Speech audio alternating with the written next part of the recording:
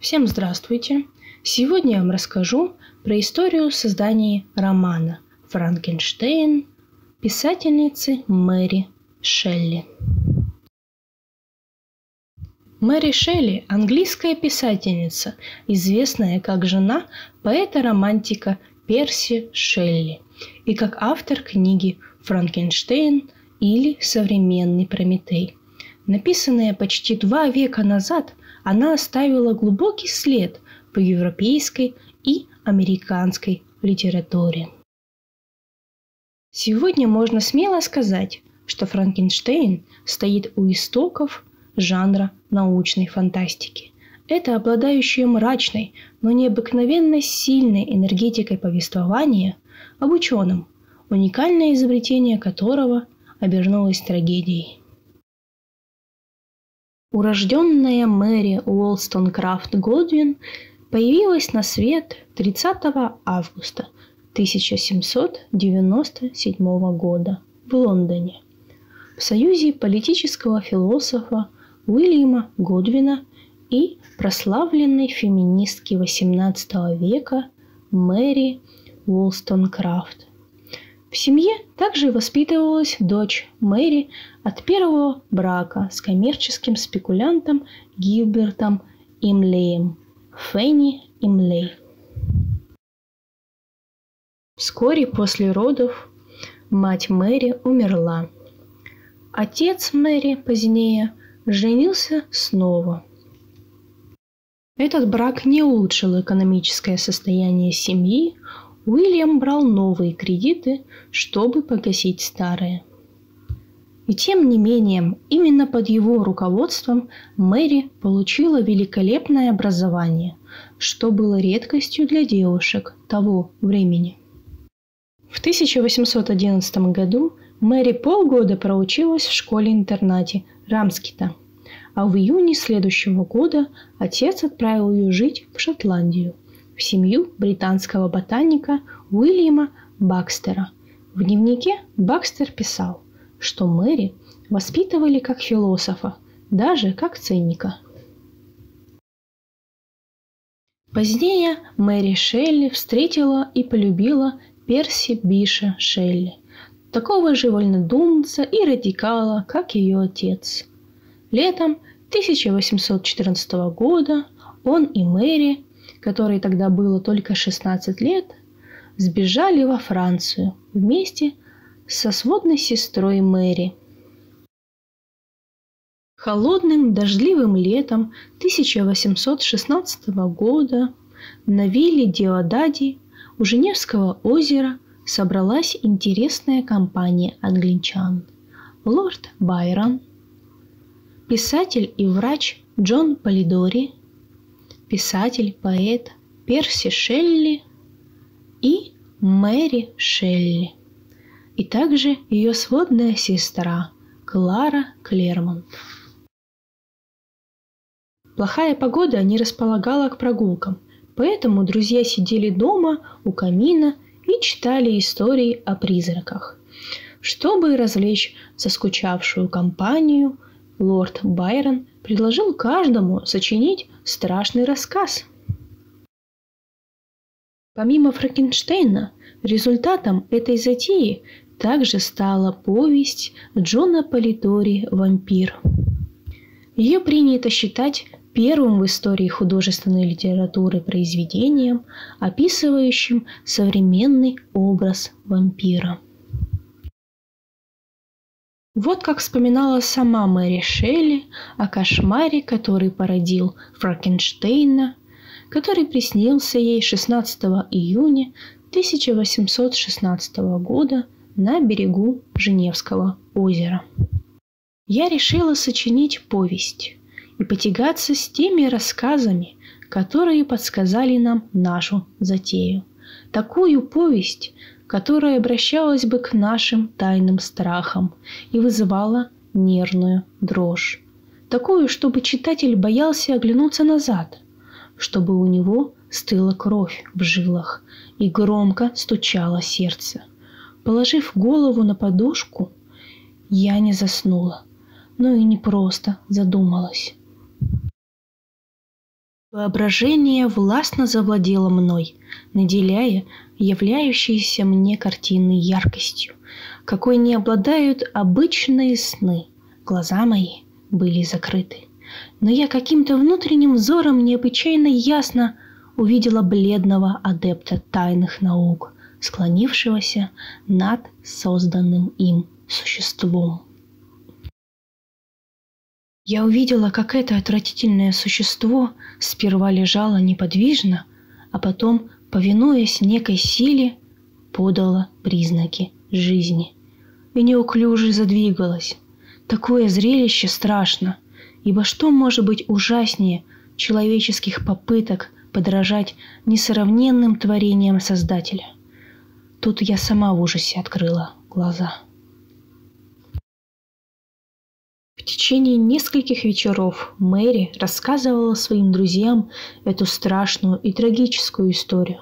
Лорд Байрон был поражен необыкновенным литературным талантом этой юной девушки и посоветовал ей непременно записать свой вымысел.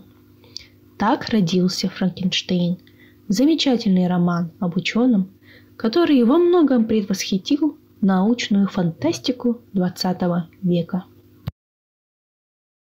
Название Франкенштейн Шелли заимствовал у немецкого замка Франкенштейн, где в XVII веке работал алхимик Иоганн Кондрат Диппель, ставшим одним из прообразов главного героя романа. Мэри немедленно начала работу над произведением, которое поначалу должно было стать новеллой, но постепенно превратилось в роман, настолько яркий и убедительный, что человечество до сих пор поражается силе воображения писательницы. А само имя главного героя превратилось в нарицательное. Под названием «Франкенштейн» или «Современный Прометей» книга была опубликована в 1818 году без указания имени автора и лишь в издании 1831 года имя создательницы самого известного монстра в мировой литературе появилось на обложке. Интересно, что автором Франкенштейна поначалу считали Перси Билли Шелли. Возможно, потому что он написал предисловие к первому анонимному изданию романа. Не упоминая автора, он назвал книгу не просто сказкой о призраках, а большим произведением об истинной природе человека и сравнил его с потерянным раем Мильтона и греческими трагедиями. Итак, о чем же, собственно, роман? Роман начинается в Петербурге и в Архангельске, откуда английский исследователь Уолтон отправляется на Северный полюс с целью нанесения на карты этих неведомых земель. Добравшись до Архангельска, Уолтон нанял корабль с командой и направился к Северному полюсу. Вскоре судно попало в область сплошного льда и было вынуждено лечь в дрейф. Среди льдов его корабль подбирает истощенного европейца по имени Виктор Франкенштейн. Немного укрепив свои силы, Виктор Франкенштейн рассказывает Уолтону историю своей жизни – и как он попал в эти места.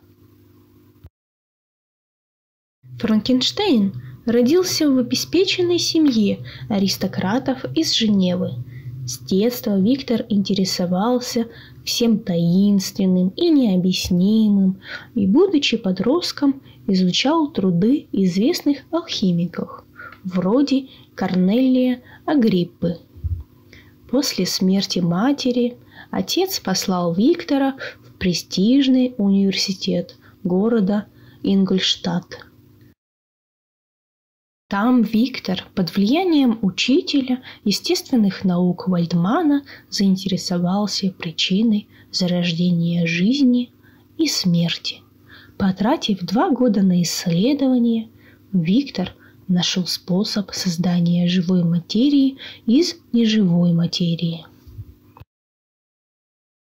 Чтобы применить это знание на практике, он собрал тело из различных частей, найденных в склепах. Виктор мечтал создать совершенное существо, новую породу людей. Ненастной ноябрьской ночью Виктор узрел завершение своих трудов. Оживленное им существо огромного роста, с желтой кожей, водянистыми глазами и узкой прорезью черного рта было настолько ужасно, что нервы юноши не выдержали. Он сразу же выбежал из лаборатории. Отвергнутое создание сбежало в лес и спряталось в сарае. Там он наблюдал за семьей, которая жила в доме, так он научился говорить благодаря одной семье. Виктор Франкенштейн бежит все дальше и дальше от своего создания, не подозревая, чем это все обернется. А существо идет за ним следом, обвиняя Франкенштейна в том, что тот создал его и бросил на произвол судьбы. Я поведала вам не все, что произошло в романе «Франкенштейн». А чем кончится это интересное и философское произведение, вы сможете узнать, когда прочитаете роман английской писательницы Мэри Шелли «Франкенштейн». Не прочитав Франкенштейна, невозможно составить истинное представление о причудливых путях человеческой мысли в XIX-XX веках Идеи, положенные в его основу, оказались странным образом созвучны не только той далекой эпохе, когда создавался роман, но и нашему времени, и, вероятно, тем проблемам, которые ожидают человечество в ближайшем будущем. Мэри Шелли первой в мировой литературе заговорила об ответственности Творца за свое творение и предугадала неразрешимые противоречия – сопровождающее человечество на всем его пути. Роман получил высокую оценку знаменитых современников писательницы. Мэри Шелли была суждена не слишком долгая и не очень счастливая жизнь. Она потеряла двух детей, а в мае 1822 года Перси Шелли утонул в Средиземном море при крушении шхуны Ариэль на которой он возвращался из Ливорна в Специю. С тех пор вся ее жизнь была посвящена их сыну Флоренсу, единственному, кто у нее остался. Чтобы дать ему достойное образование, Мэри неустанно зарабатывала на жизнь литературным трудом. В 20-х и 30-х годах XIX века Мэри создала еще пять романов, пронизанных мучительным чувством одиночества. Однако в наши дни они основательно забыты. Лишь Франкенштейн по-прежнему признается выдающимся памятником литературы, регулярно который переиздается и переводится на множество языков. Последние годы жизни Мэри Шелли были омрачены болезнью. А 1 февраля 1851 года на Честер-сквер она умерла в возрасте 53 лет из-за опухоли головного мозга. Роман о Викторе Франкенштейне и о созданном им чудовище множество раз ставился в театрах, также множество раз экранизировался. На сегодняшний день книга Мэри Шелли все еще популярна. Ее покупают и читают любители научной фантастики. Всем спасибо за внимание.